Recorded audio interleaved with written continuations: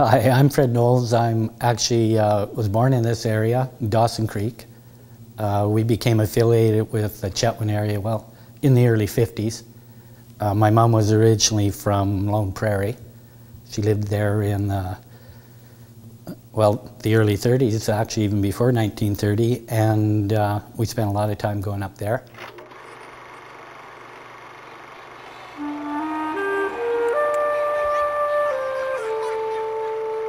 Her family were, were one of the pioneers in Lone Prairie. They actually helped build the first school there. And I think basically the only reason they moved to East Pine was to start another school there, which was unfortunate because, you know, they did get the school started, but yeah. What happened at East Pine was big ice jam built up on the Murray River and I guess it'd be right where uh, they've got the big gravel pit now uh, the water come over there. They, they, they were on the pine side, but uh, the water took the, I guess, a path of least resistance and come right over their house. And there was 12 of them in the house, and uh, let's see, uh, eight, eight of them were drowned. Her mom and her dad, three of her sisters, and three of her cousins, uh, infant cousins that were staying, or nephews, I'm sorry, that were staying there.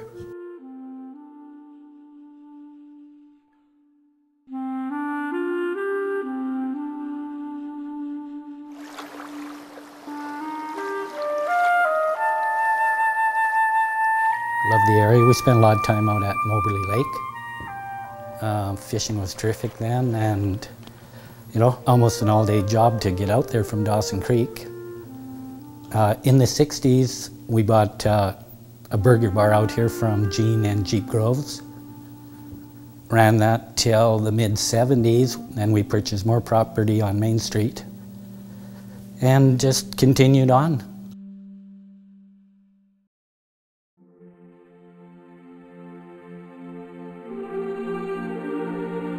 Uh, Dad was born in uh, Regina, Saskatchewan. He come to the Rolla area in 1929. Uh, Rolla was a big concern then. They actually had three hotels. I don't know if people know that or not. Then he ended up in the Bonanza area. Uh, he stayed there till just before the war. Um, he actually worked on the Monkman Pass uh, big highway they were going to put through there. I guess he made like a dollar a day. He said he got a dollar a day and all the pop they could drink, so big wage.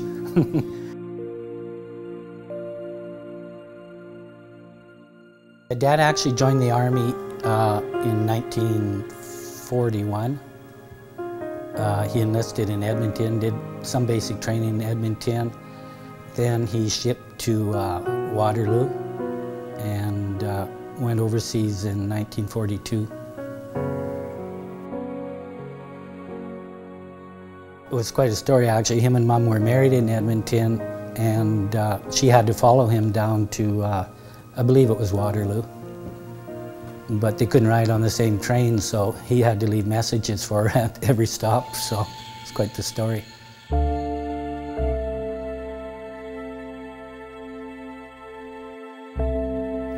You know, it, it's, it's funny, I really probably didn't know much about him even being overseas till till I was almost in my, my teens, eh? It was just something they didn't talk about, but uh, the only time I heard stories was when he got together with their buddies over, you know, a few drinks, and, uh, you know, his overseas buddies and that.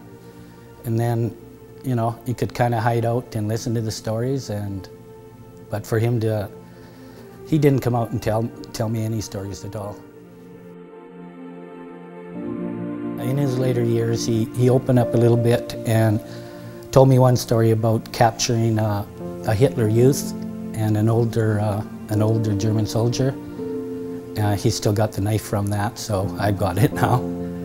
And he's, he said what happened was the Hitler Youth didn't want to surrender, and he ended up spitting in the older guy's face. And so that just shows you how indoctrinated they were into the cause. Eh?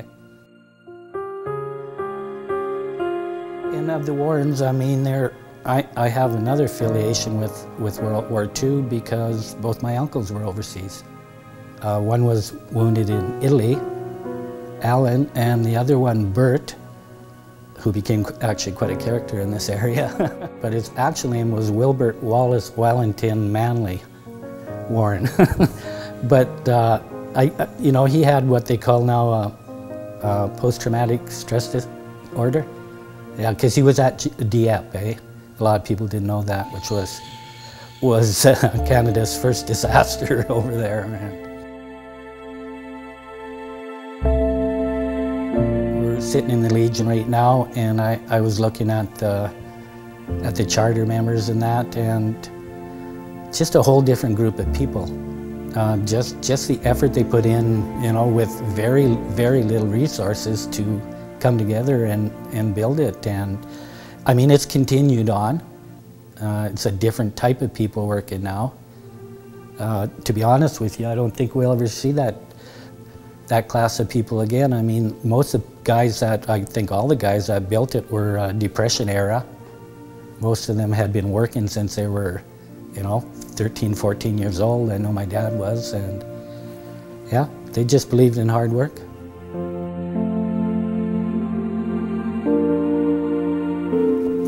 When I first started coming, well, to the Chetwynd Legion and to the Remembrance Days, I mean, there was row and row of veterans, eh? And uh, this year, I don't know, I guess we hopefully we'll see Albert Flett.